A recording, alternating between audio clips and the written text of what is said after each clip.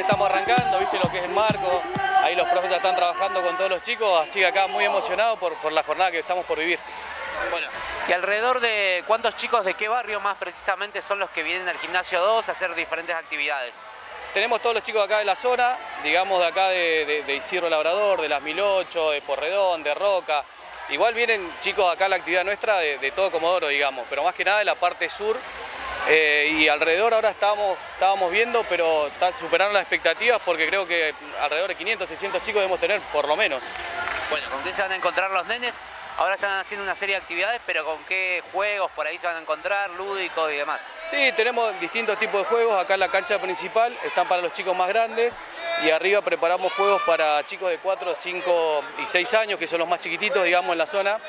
Y hay estaciones y la idea es que vayan participando en las estaciones, van a, van a jugar y van a ir rotando a medida que, que, pase el tiempo. Y después, en la segunda parte, tenemos, bueno, como verán, el, el escenario y la pantalla, tenemos un show y una sorpresa para todos los chicos. También es una buena oportunidad para ustedes, ¿no? En esta festejos que son este, particulares por, por los nenitos.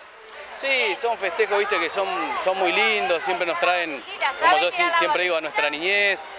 Y son eventos que, que el que deporte viene, viene practicando y, haciendo todo, hace muchísimos años. Eh, y la verdad que, que está muy, muy bien organizado y, tenemos esta, esta, dinámica, digamos, de hacer estos juegos tan, tan buenísimos para los nenes. La actividad de hoy salió muy linda, la respuesta tanto de los barrios y de los nenes fue más de la esperada, así que estamos muy contentas. En el caso de chiquitos, bueno, ¿de qué barrios son y con qué tipo de juegos se encontraron hoy? Sí, en esta oportunidad, bueno, tuvimos barrios, eh, varios barrios, como Bellavista Sur, Bellavista Oeste, El Atardecer, Cerro Solo, 30 de Octubre, Abela Maya y Ciro Quiroga. Em, así que bueno, se encontraron con muchos, juegos, con muchos juegos distintos, diferentes postas, tuvimos peloteros, que le agradecemos a los profes también por todo lo que pusieron ¿no? para este festejo, así que estamos muy contentas por eso. Porque creo que igual para ustedes debe ser un día especial porque están en el mes de las infancias y aparte diariamente trabajan con chicos.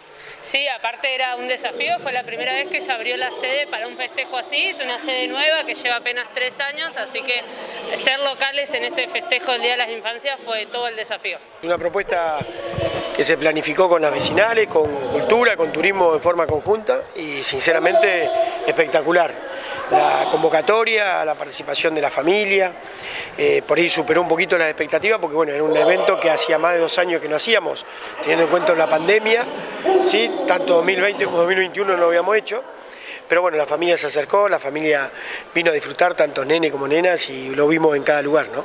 También lo que hablábamos con los profes es que para ellos es una fecha también especial, vos te tocó en tu oportunidad de ser profe, siendo profe todavía actualmente, porque todos los días trabajan con nenes. Sí, así es. O sea, yo creo que hay que resaltar mucho el trabajo del personal del área de deporte, sí que laburan, como yo siempre digo, con una vocación muy grande.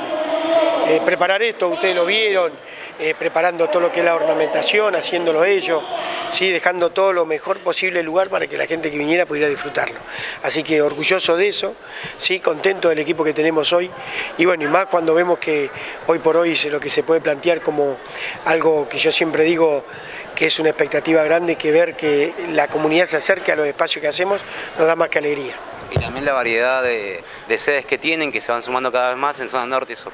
Sí, así es. Esta propuesta se llevó adelante tanto cuatro zonas en, zona norte con cuatro sedes, se hizo cuatro sedes acá, bien lo decía recién, sábado y domingo del 13 y 14, 20 y 21, en el horario desde las 14 hasta las 17, creo que hizo que la familia en cualquier lugar que quisiera acercarse se pudo acercar.